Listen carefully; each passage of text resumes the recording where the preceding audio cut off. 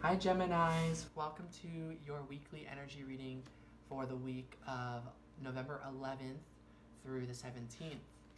Oh, that's what I forgot to talk about in the first couple videos. So I did Aries and then I just did Taurus. Um, and I did not mention, but 1111, it's a very powerful portal. So um, I forgot to mention that in the other readings, but um, that's a very fun way to start off the week. But anyways, we are going to go ahead and get started pretty soon here. Thank you all for being here. If you're new to the channel, feel free to subscribe if you'd like to join. I'd love to have you here. Um, like this video, comment down below if you enjoyed this video and it resonates with you.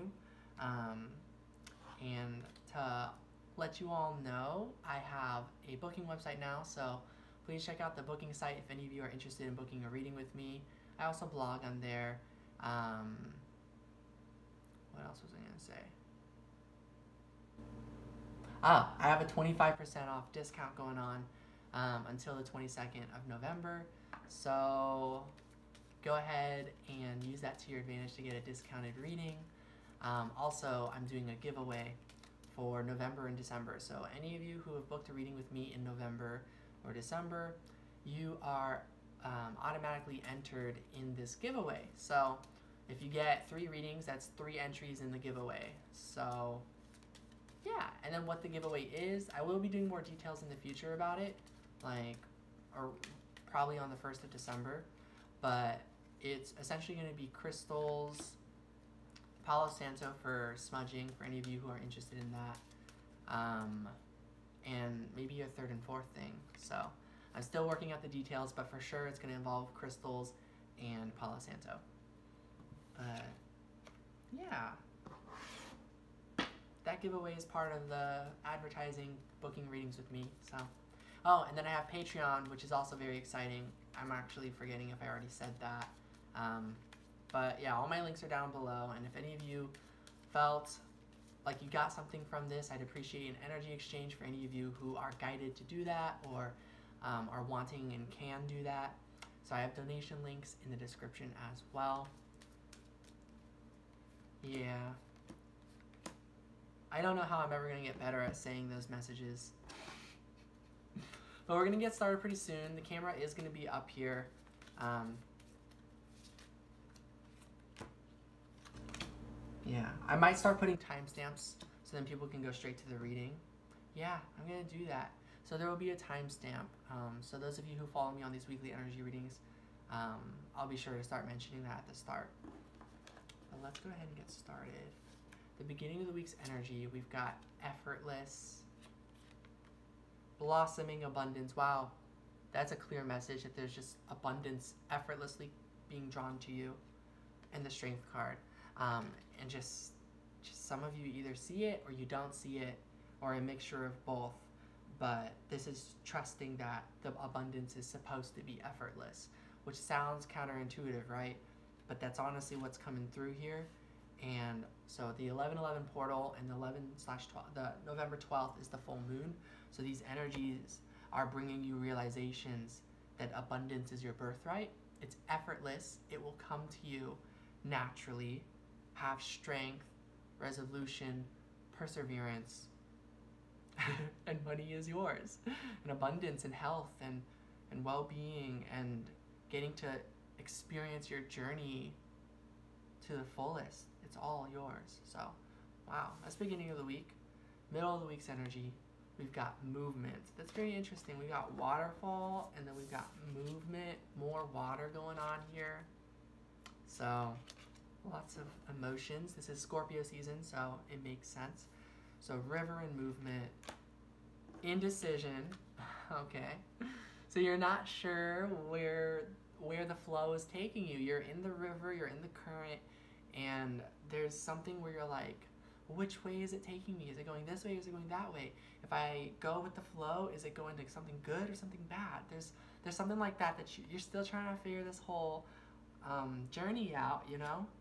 And we've got four of cups, and so that's the thing. You do have more. You do have control over where you go, even though there's a flow, and that can sound confusing. Where it's like, I think it's called determinism, where it's like the idea that all decisions are just fate and it's whatever's going to happen is just what's going to happen.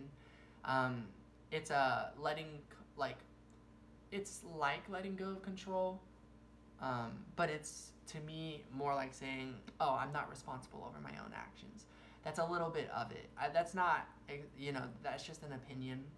That doesn't mean that if you um, believe that, like, you know, that just everything will just happen and it's like you have no control, basically. It, it doesn't mean that if you believe that, that suddenly you're not taking accountability.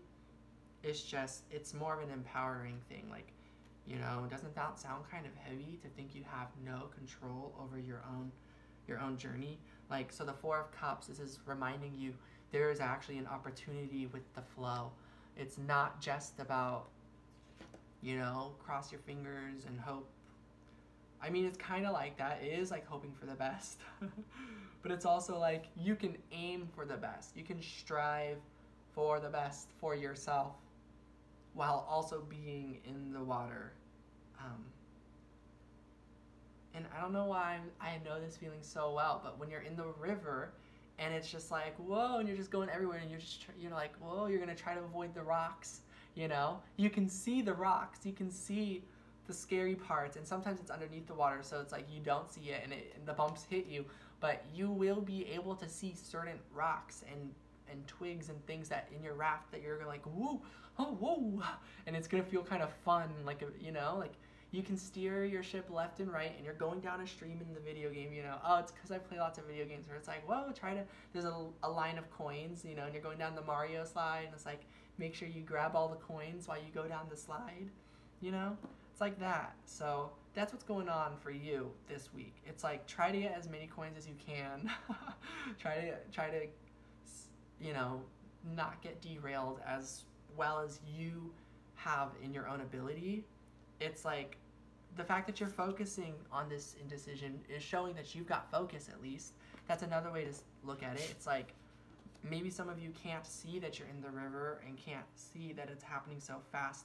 Um, but maybe actually when you focus on the indecision, you actually slow down the speed of the game and you can slow motion go down this slide and it's like if you go slow motion it's impossible to miss the coin, you know? It's like, all right, you still can, but you would very slowly not take the coin, you know? So that's kind of what I'm getting for the middle of the week. I'm just getting like, you have this opportunity to change the pace, to slow it down, to make this feel a lot more effortless. Or if it's going really slow, you can get in a quicker current. Or if it's going really slow, it actually might just be that you're going really fast and it's like um, that's okay but like maybe when you go really fast you overwork your body in ways that you didn't recognize. So those are some other messages coming through. And like i need to do more healing for myself physically. I need to do more yoga. But anyways end of the week we've got volatility volcano. So we go from water to something happening. You reach the end of the river slide. Okay and that takes you to fourth chakra, your heart, your heart center, Archangel Raphael, with the Two of Pentacles. That's very interesting that we go from the Four of Cups with this like sort of Two of Swords. This is basically the Two of Swords to me. Four of Cups, Two of Swords, Two of Pentacles. Your Two of Swords and your Two Pentacles, uh, two thoughts, the two physical places or things, two different things in the physical reality with two different decisions that you could make. You know, it's kind of like, like, like this. You know, there's one pentacle there. There's one pentacle there. There's one coin over there. There's one coin over there. Either decision you pick, there's money. There's abundance. There's support. Um, and that's what these four cups are trying to tell you. Is trying to tell you like, it might feel like these are lacking something what it's lacking is the motivation. And that's that's the old that's the real indecisiveness here. For some reason you're not motivated to go either way. Why? Why aren't you where is your motivation? Where is it? And if if your motivation ends up not being either of these ways go a different direction. Go where your motivation goes. What are you motivated to do? So yeah, and then I'm just getting like the end of the week, like your heart is gonna explode with the answer. Your heart will know. Your heart will know what you what the heart wants to do. So pretty interesting. So that was your reading, Gemini's. I hope you enjoyed. Um, I like that. That was very poppy energy. I like it. Like, you know, boom, you know? So, very good week. Lots of things are ahead of you. A lot of abundance is what's coming your way. This is saying it is really quite effortless. You can't make a wrong decision here, basically. Even not making a decision will still work out, you know? You know, like these four, these, all these different cups lead you to the same thing. You know, it's like, make a decision, you'll, you get love and abundance. Don't make a decision, you get love and abundance. You want to make a decision, but you, you wait it out you know, love and abundance. It, it all comes through. So, I hope that resonated with those of you who are listening. Um, yeah, I'd love to hear your thoughts down below. If any of you, yeah, I don't know if I want to do the messages at the beginning or the end of the video, or if I want to do it both times, or what, but yeah, I'd appreciate any of you well, I appreciate all of you, of course, but I'd really appreciate if any of you are interested in doing an energy exchange donation or getting a reading from me. Yeah. Yeah.